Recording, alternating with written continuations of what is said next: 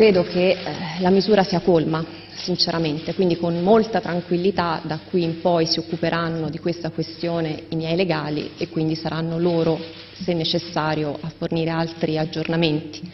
Una banca di guai. Quindi noi chiediamo la sfiducia della Boschi tramite il governo.